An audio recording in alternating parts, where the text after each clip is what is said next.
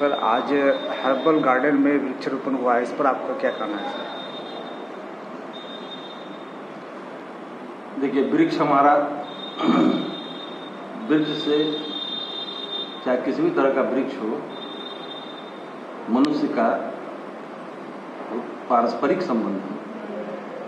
जो हम सांस में ऑक्सीजन लेते हैं, वो ऑक्सीजन हमें वृक्ष ही देता है। सांस के द्वारा जो कार्बन डाइऑक्साइड उस कार्बन डाइऑक्साइड को वृक्ष सांस लेता इसलिए हम दोनों का अनुनाश्रय संबंध है। तो यह इसी को ध्यान में रखते हुए एक वृक्षारोपण किया गया। जो कड़ी पत्ता इसको मीठा नहीं भी करते इस संबंध में कहना यह है, कड़ी पत्ता के संबंध में मीठा नहीं औषधीय पत्ता भी है और भोजन के स्वाद को भी बढ़ाता है। खासकर कोलेस्ट्रॉल जो होता है, कोलेस्ट्रॉल की बीमारी के कारण जो है।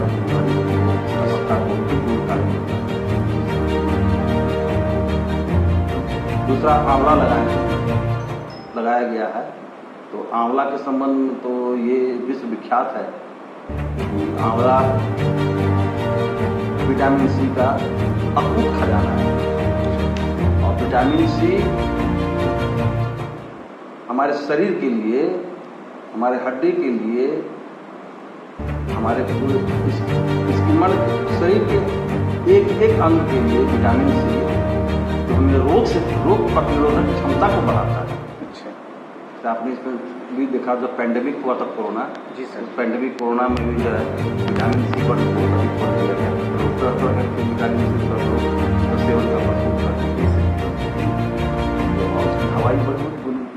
गुणकारी होती है। सर इस पर संदेश आप क्या देंगे आम जनता को? मतलब इससे ताकि मतलब वो भी लगाए और किसी मौके पर चाहे वो जिस तरह का मौका हो अपने जन्मदिन पर हो या और किसी मौके पर हो उस पर आप क्या कहना चाहेंगे? हाँ। आम जनता को क्या संदेश देंगे सर? आम जनता को यही संदेश देंगे कि जिस हमारे देश में खास करके जितना पौधा काटा जा रहा है उसी के विपरीत अनुपात में हमारी जनसंख्या बढ़ती जा रही है। तो जनसंख्या को सांस लेने के लिए आखिर उसको ऑक्सीजन तो चाहिए। इसलिए एक एक वृक्ष से हमारा पूरा ऑक्सीजन की प्रतिपूर्ति नहीं हो सकेगी। जी सर। इसलिए हमारा ये अपना संदेश है कि पहले भी कहा जाता था कि एक बच्चे पर दस पौधा लगाए। आपके घर में एक बच्चे पैदा होता है उसकी खुशी में उसके उपलक्ष्य में उसके नाम से जी। दस पौधे लगाए। जो। वृक्ष बड़ा होगा तो हमारे बच्चे बढ़ेंगे सांस की तकलीफ़ ना हो अगर बगल में वृक्ष रहेगा तो ऑक्सीजन के लिए हमें परेशान नहीं होना पड़ेगा। ऑक्सीजन की कमी के कारण बहुत सारा बीमारियाँ होती हैं और ऑक्सीजन की इतनी ज़रूरत होती है आप ये हॉस्पिटल में भी देखते हैं। उस वक्त जो है सो ऑक्सीजन का जो है महत्व समझ में आता है कि भाई ऑक्सीजन देना इनको ज़रूरी है। जी। ऑक्सीजन देना ज़रूरी है। तो प्राकृतिक रूप से हमें ऑक्सीजन का भंडार के बीच में हम रहे तो ये सबसे अच्छा है। हर खुशी के मौके पर भी आप हम व्हाट्सएप पेपर भी लगा सकते हैं एक पौधा लगाए। बच्चे का कोई हमारे परिवार में कोई बच्चा नया सदस्य आता है जी उसके नाम से पौधे लगाएँ। जी। हम्म। शादी के साथ ईरा पर भी जो है जब पौधे लगाएँ एक दूसरे को भेंट करें तो पौधा ही भेंट करें। हम्म।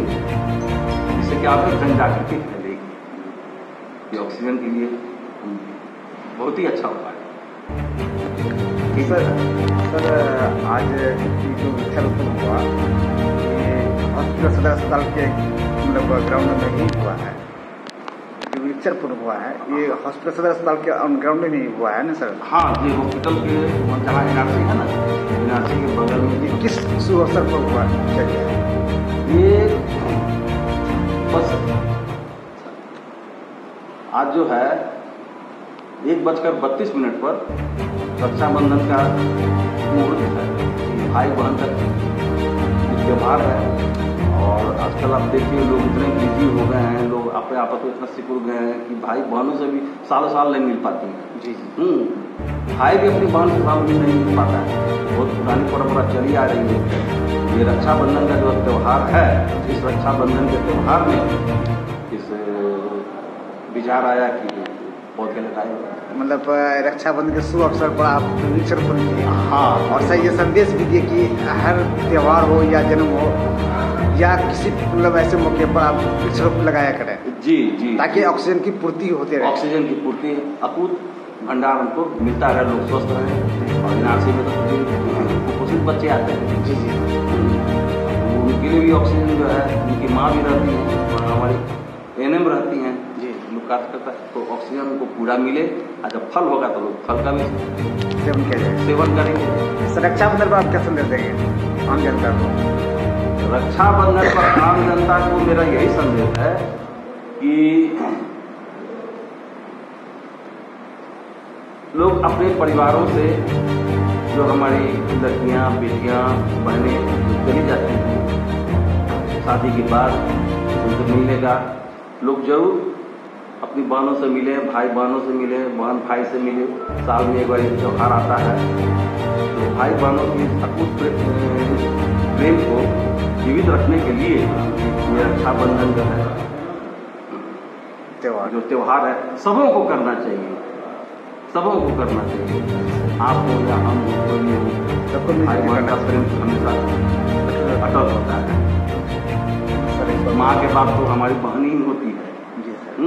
बहन के बाद किसी सबसे पहले तो माँ का दर्जा होता है। माँ के बाद जो है।